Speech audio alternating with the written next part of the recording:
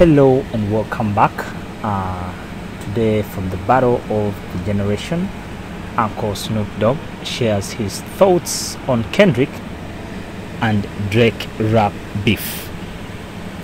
Uh, we remember Snoop Dogg has officially shared his thoughts on Drake and uh, Kendrick Lamar rap beef in an exclusive interview with the people the West Coast legend weighed in on the ongoing fraud between the hip hop stars. Remember, this may be the rap or the beef of the century. The Drop It Like It's Hot musician told E.T. that he has nothing but love for both the rappers, Drake and Kendrick, and uh, he gave both artists props on their pen games but decided not to choose a side.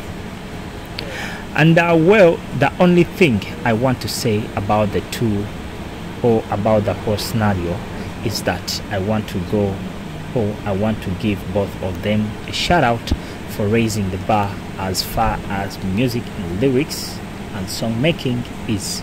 And uh, writing has been happened since the confrontation, whatever you may call it, and uh, whatever they went through.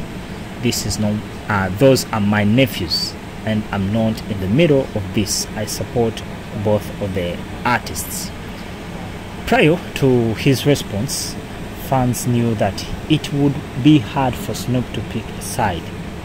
And uh, re- remember the recalled fact that he did perform alongside Kendrick during the Super Bowl